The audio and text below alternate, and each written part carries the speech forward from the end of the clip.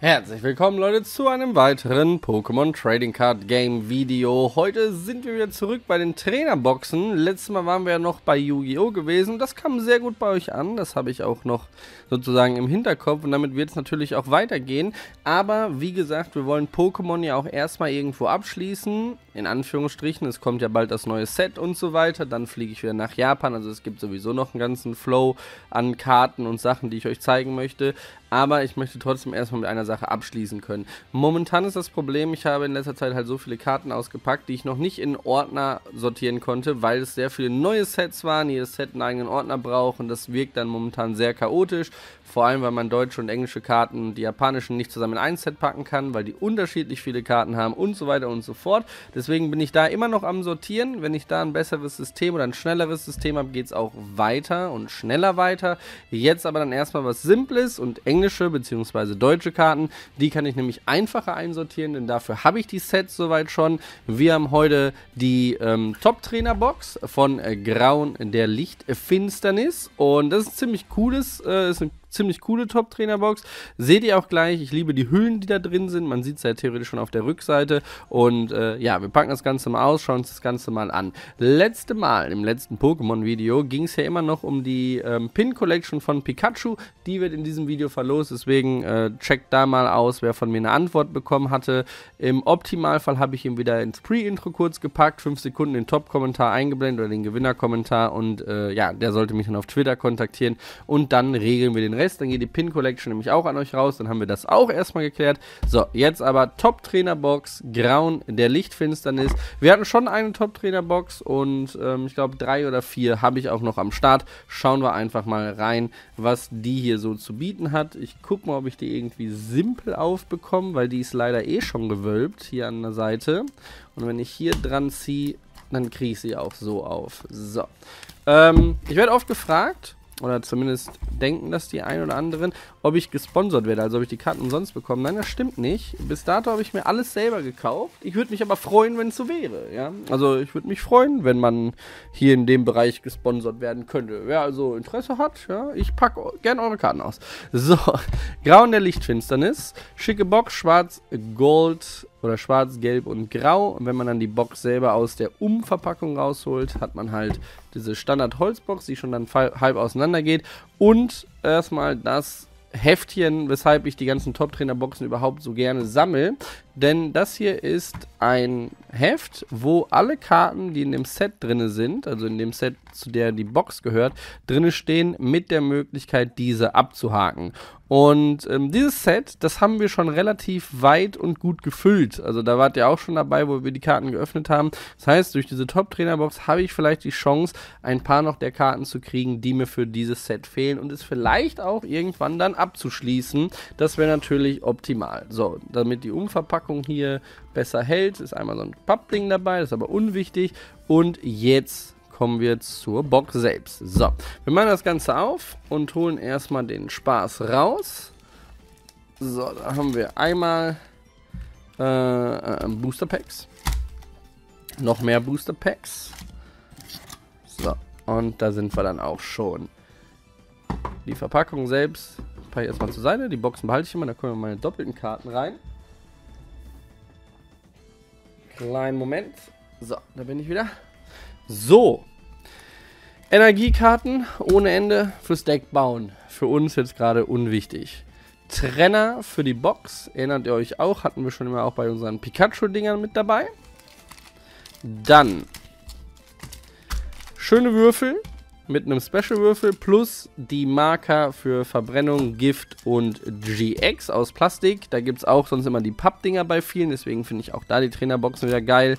Und ähm, ja, die Verpackungen selbst, die ich meinte, die ziemlich cool aussehen. Also die Hüllen sind das, davon haben wir ja auch jetzt schon eine ganze Menge Hüllen, Special-Hüllen, aber wie ich die benutze, kann ich euch einfach nicht sagen. Dafür müsste man wirklich ein Deck bauen, dann wird das Sinn machen. Wenn man später Deckbuilding betreibt, dann könnte man solche Hüllen nehmen, um es besser ja, zu markieren.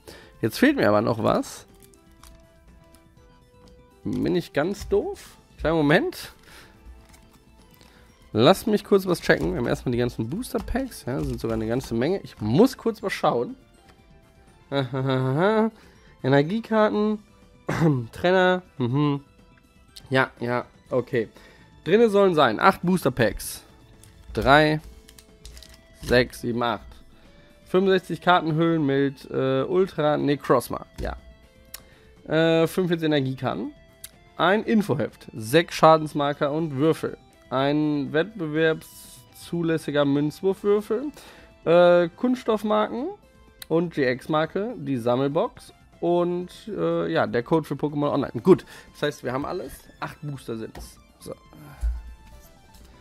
Acht Stück. Was haben wir denn dabei? Alles Lichtfinsternis, hoffe ich in dem Fall. So wie das Set es voraussagt. Sehr gut. Das heißt hier nicht unterschiedliche Sets, sondern ganz simpel alles in eins. Das heißt, sie sind auch einfacher einzusortieren. Das ist immer schön und ein bisschen angenehmer als bei den japanischen Boostern, wo du aus 80 Sets Sachen bekommst. Fangen wir mal an und äh, öffnen mal die Booster Packs. So, ein paar Wochen ist es her, dass ich erstmal ein paar Karten wieder geöffnet habe. Oder zwei. Hier ist erstmal der erste Code für euch. Ich zähle mal vier ab. Und wir finden beim zweiten mal raus, was besser ist. Ja, nehmen wir aber erstmal vier. Ich hoffe, das Video heute ist auch nicht zu dunkel für euch. Ansonsten entschuldigt bitte, da muss ich sonst was dran machen. Klavion. Knaxel. Hooper. So, habe ich mit vier richtig gelegen. Viscora Volcanion mit Prisma. Die Karte dürfte ich noch nicht haben. Perfekt. Plus die Zigarde. Zigarde. Das ist doch schon mal gut. Das, ich bin mir ziemlich sicher, dass ich die noch nicht habe. Zumindest nicht in Prismatic. Ähm, schauen wir dann mal wenn ich den Ordner wieder raushol. Ich freue mich schon, alle Karten einzusortieren. Also ehrlich, das ist so das, was mir mit am meisten Spaß macht. Das klingt ein bisschen doof, aber genau so ist es. So. Ansonsten, ne, bei den Codes, wer zuerst kommt, mal zuerst. Ansonsten appelliere ich immer an euch und wir versuchen das weiterhin durchzuboxen. Seid so fair, löst nur einen ein. Mal schauen, ob es irgendwann mal klappt. Es wäre auf jeden Fall ein geiler Zug. Da müsst ihr aber dann selbst an euch arbeiten. Ich würde mich auf jeden Fall freuen, wenn ihr, wenn ihr einen Code bekommt, einfach nicht alle nehmt und äh, gönnt einfach auch mal den anderen. So. Gramocles. Arctip und ein Froxy in Reverse Holo. Schön, die Starter-Pokémon. Ich glaube, auch der fehlt mir noch. Und dahinter noch ein Monargoras in Foil. Beziehungsweise Holo. Ja. Ich zeige euch beide mal eben. Was kriegen wir hin? Die Attacke ist übrigens Knirscher mit 100. Ja, oh Gott, ich muss niesen, Leute. Es tut mir leid. Gut, ging nochmal gut. Kennt ihr das? Wenn ihr euren Nieser unterdrücken wollt. Und es klappt. so.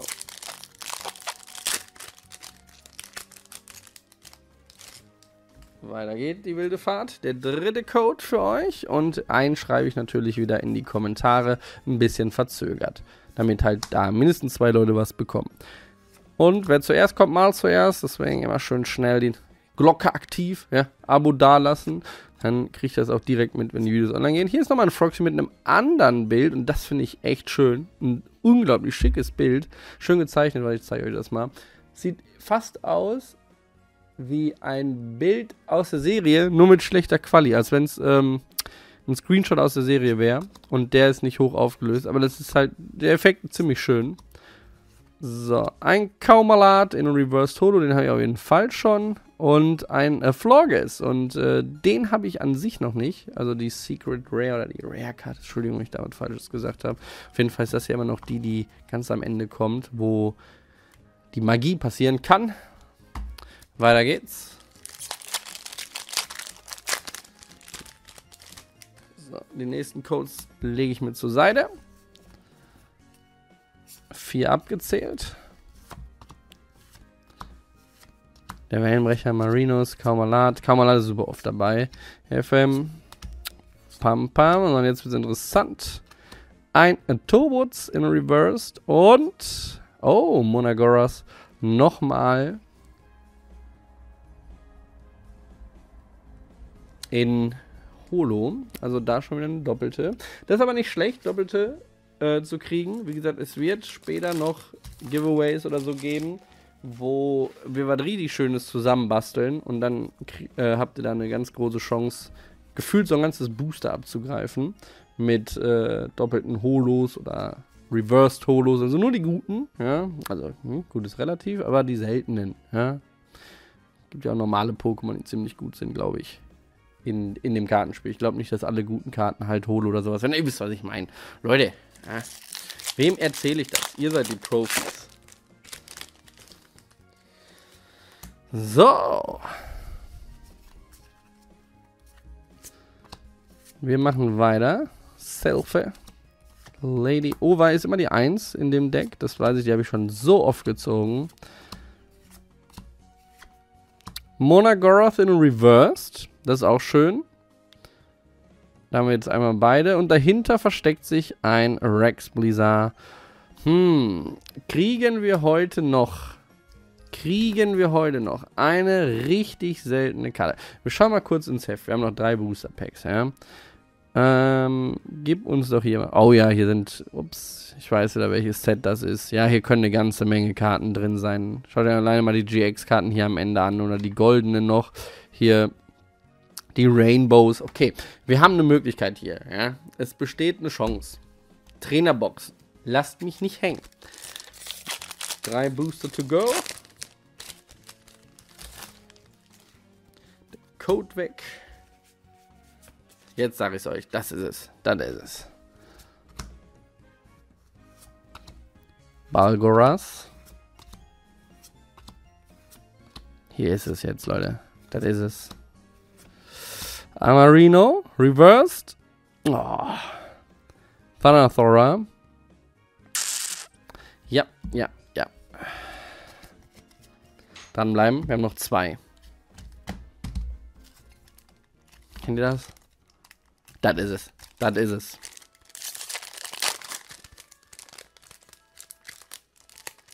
Jetzt holen wir was raus. Zack. Eins, zwei, drei, vier. Bam. Umdrehen. Der Richter.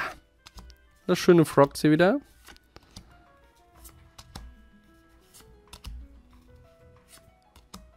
Fluetta. Und ein Viscogon.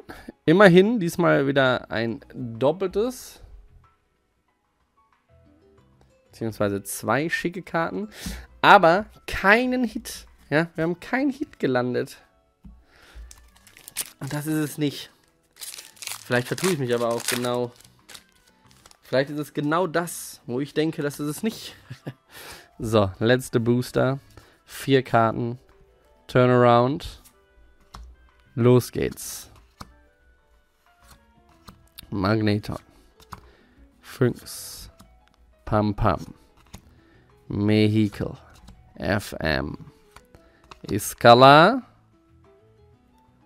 Felinara.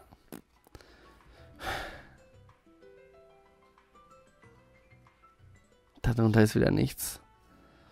Ein Tundrak haben wir noch am Ende.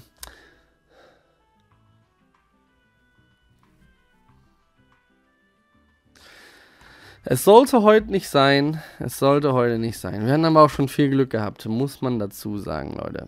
Aber ich denke, hier waren eine ganze Menge Karten dabei, die ich in diesem Set noch nicht hatte. Und das werde ich zum Glück nutzen können, um die schnell einzusortieren. Ansonsten habe ich da hinten, ich sehe da noch einen ganzen Batzen Karten, die nicht einsortiert wurden. Und da muss ich mich erstmal als nächstes dran setzen. Ansonsten die drei Karten habt ihr hoffentlich eingelöst. Ich hoffe, drei unterschiedliche Leute. Wenn das einmal klappt, wäre das mega sick.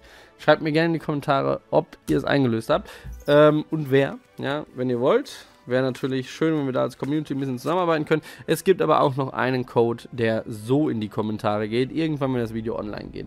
Ansonsten gerne ein Like da lassen. Also ich würde mich sehr über den Support freuen. Wenn diese Videos hier gut ankommen, ist das sehr schön, weil das ist so ein bisschen ähm, das etwas hier, was ich sehr einfach nur nur sehr gerne mache. Ich erwarte jetzt hier keine 50.000 Views auf ein Video oder sonstiges. Das mache ich einfach, weil ich halt nur Bock drauf habe. Und es wäre mir egal, ob hier 200 Leute, 500 Leute oder 1000 Leute zugucken. Das macht mir einfach sehr viel Spaß und ich hoffe, dass wir als Community was aufbauen können.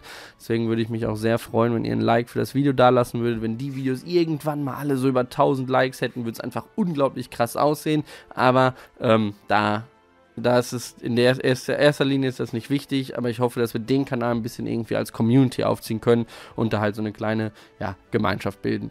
Ähm, ansonsten, das war die Trainerbox. Schreibt mir gerne mal, wie ihr die Box an sich fandet. Jetzt unabhängig von dem, was wir rausgezogen haben. Ich hole noch die Box zurück. So, mit der Umverpackung raus.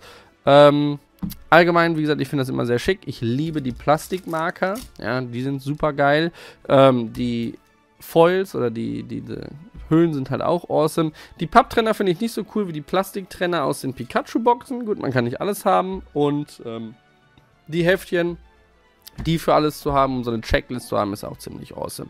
Ansonsten ähm, gerne Like da lassen. Beim nächsten Mal gibt es wieder ein Giveaway. Da schauen wir mal, was wir machen. Jetzt muss ich aber wirklich erstmal anfangen aufzuräumen. Deswegen, ich weiß noch nicht, wann es weitergeht. Wird aber natürlich alles in geraumer Zeit kommen. Also es wird nicht lange dauern. Ähm, und dann können wir einfach weitermachen. Danach geht es mit Yugi los ganz normale Brettspiele. Leute, ich habe noch einiges vor. Der Kanal soll noch eine ganze Zeit lang laufen, weil ich glaube, ich habe hier, wenn ich mich einfach nur umgucke in meinem Raum, was ich noch an Videos machen könnte, werde ich hier in fünf Jahren noch nicht fertig sein. Und das ist ungelogen. Ja, also wir haben, es ist noch, es ist noch so viel. Und äh, ich freue mich drauf. Ähm, ansonsten wünsche ich euch einen wunderschönen Abend. Hoffe, wir sehen uns beim nächsten Mal wieder. Der Gewinner gerne anschreiben. Ja, am Anfang wurde der Kommentar eingeblendet. Und ähm, bis zum nächsten Mal. Macht's gut. Ciao.